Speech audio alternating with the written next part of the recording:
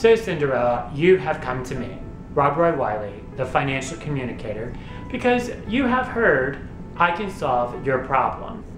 From what I understand, the fairy godmother is gone, and the prince, well, he hasn't shown up. Because rumor has it, Cinderella, you don't want to live in your stepmother's attic forever. And that you need a financial plan. Let's start by listing your assets. You have one Cartier headband valued at 75,000. You have one glass slipper from Christian Louboutin valued at 1400. You have one Christian Dior couture ball gown valued at 30,000.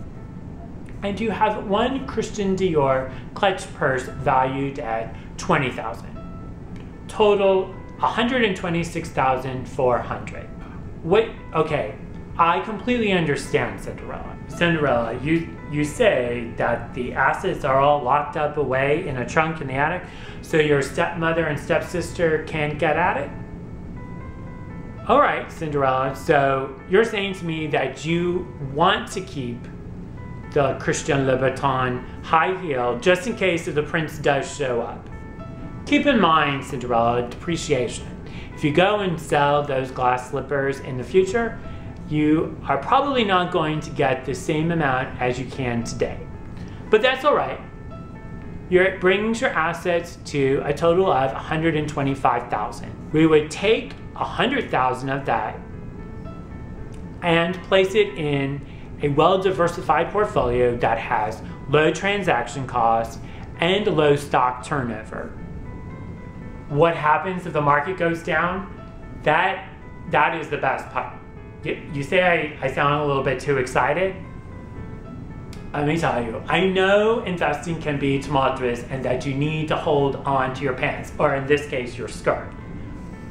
But that's where I come in, because I help you understand why when the market goes down is beneficial for you over the long term as a financial communicator. Because let's face it, the only interesting thing about investing is your dreams. And you have a dream to get out of the attic and move on with your life. With that being said, you need to take the other 25,000 and you need to start your own company. Because Cinderella, you are very good at dealing with difficult people. You are an expert, especially when it comes to your stepmother and stepsister and people will pay you to find out how they can deal with those difficult personality types. Like our content and what we have to say? Then click like and subscribe.